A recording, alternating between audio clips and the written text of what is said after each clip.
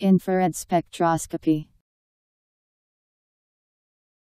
The spectroscopic study of the interaction of matter with infrared radiation, used as an analytical tool to identify mostly organic compounds. I N F R A R E D S P E C T R O S C O P Y Infrared spectroscopy